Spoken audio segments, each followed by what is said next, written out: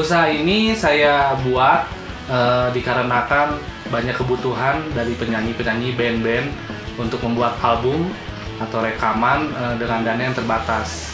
Kebetulan saya juga punya band sehingga saya eh, belajar tentang sound dan recording. Untuk modal usaha, saya ngumpulin pelan-pelan dari eh, beli alat rekaman, terus kumpulin lagi uangnya akhirnya bisa beli speaker lumayan lah udah sedikit agak komplit dengan home recording ini saya bisa mendapatkan sekitar 5 sampai 10 juta per bulan. Untuk ke depannya saya tetap pengen menambah lagi alat-alat recording yang lebih profesional. Kalau mau usaha lakuin aja langsung. Jangan ditunda-tunda. Dari yang kecil dulu hingga menjadi besar. Selamat berwira usaha